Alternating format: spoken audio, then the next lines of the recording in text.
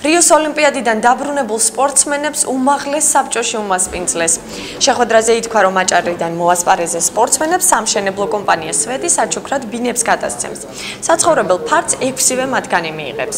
რიოს 31 საზაფხულო ოლიმპიადაზე ქართველმა სპორტსმენებმა 2 ოქროს, 1 ვერცხლის და 4 ბრინჯაოს მედალი აიღეს. საქართველოს 207 ქვეყანას შორის 78 ადგილი დაიკავა. შედეგი გვაქვს საუკეთესო.